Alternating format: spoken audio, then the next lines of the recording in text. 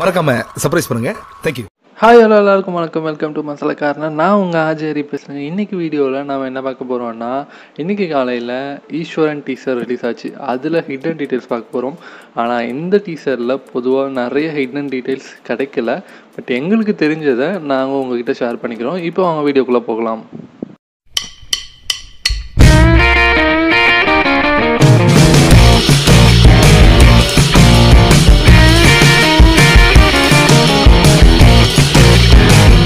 First நம்ம STR பற்றி சொல்லி ஆகணும். ரொம்ப நாளுக்கு அப்புறம் ஒரு கம்பேக் ஃபிலிம் கொடுக்குறாரு. ரொம்ப பாடியெல்லாம் வந்து ஸ்லிம் பண்ணி வெயிட்டெல்லாம் எக்கச்சக்கமாக இறக்கி நியூ லுக்கில் வந்திருக்காரு.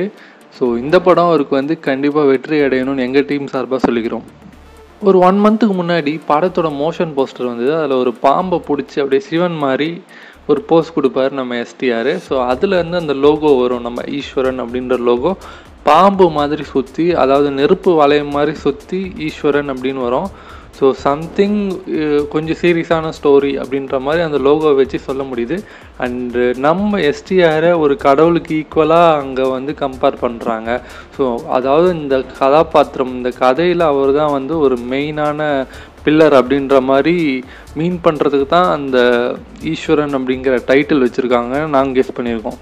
டீசரோட ஓப்பனிங் சீனில் ஒரு கிரவுண்டில் கிரிக்கெட் விளையாடிட்டு இப்படி கும்பிட்ற மாதிரி ஒரு சீன் இருக்கும். அந்த ஸ்டா சீன் ஸ்டார்டிங்க்கு முன்னாடி அவரோட கழுத்தில் பார்த்தீங்கன்னா ஒரு மைல் டாலர் இருக்கும். அண்ட் படம் ஃபுல்லாகவே வந்து எஸ்டிஆர் வந்து லுங்கி தான் கட்டியிருக்காரு.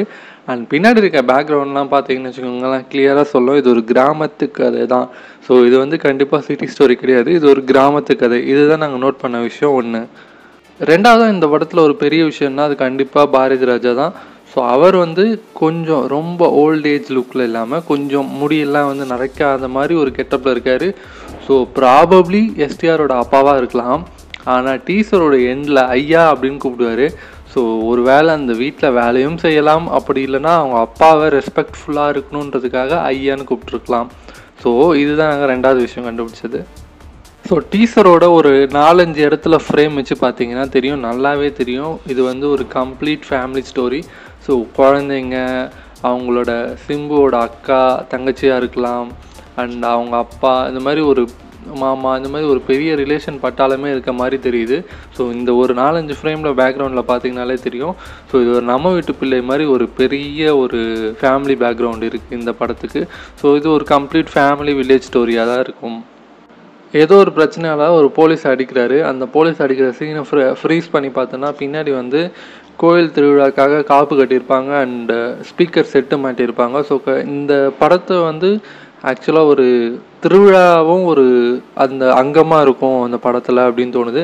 ஏன்னா அங்கே திருவிழா சீன் வருது அங்கங்கே ஒரு பிரச்சனை வருது. ஸோ அங்கே அந்த பிரச்சனையில் சண்டை வருது. ஸோ இந்த மாதிரி தான் கதைக்களம் நகரும் அப்படின்னு ஒரு நாங்கள் கெஸ் பண்ணியிருக்கோம். அண்ட் அது மட்டும் இல்லாமல் ஒரு ஃபேமிலி ப்ராப்ளமும் வருது. அந்த ஃபேமிலி ப்ராப்ளமில் யாரோ ஒருத்தர் அடிக்க போக அது மிஸ் ஆகி ஒரு லேடி மேலே பாட்டுடுது ஸோ அதனால் ஒரு ஃபேமிலி ப்ராப்ளம் க்ரியேட் ஆகுது. ஸோ கொஞ்சம் சென்டிமெண்ட் ஸ்டோரியும் உள்ளே வரலாம். ஸோ இதுதான் நாங்கள் இன்னொரு விஷயம் கெஸ் பண்ணது. இந்த சண்டை கோழி மருது இந்த மாதிரி படத்தில் கிளைமேக்ஸ் ஃபைட் வந்து ஓப்பன் கிரவுண்டில் வச்சுருப்பாங்க. ஸோ அதே மாதிரி தான் இந்த படத்துலையும் ஓப்பன் கிரவுண்டில் ஃபைட் வரும் அப்படின்னு சொல்லி நாங்கள் கெஸ் பண்ணிருக்கோம் ஏன்னா டீசரில் ஒரு சீனில் மண்ணுக்குள்ளேருந்து ஒரு பாண்டாக்கரடி வருவான். மண் அப்படியே சிலு செலுத்துக்கிட்டு வருவார். ஸோ அவன் தான் அந்த குள்ள பாண்டாக்கரடி தான் வில்லனாக இருப்பான்னு நாங்கள் நினைக்கிறோம்.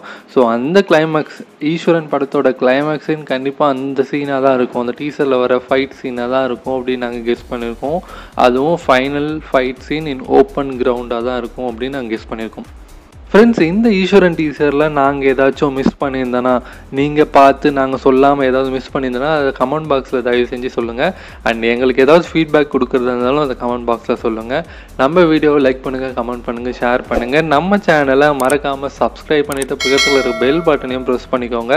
Thank you friends bye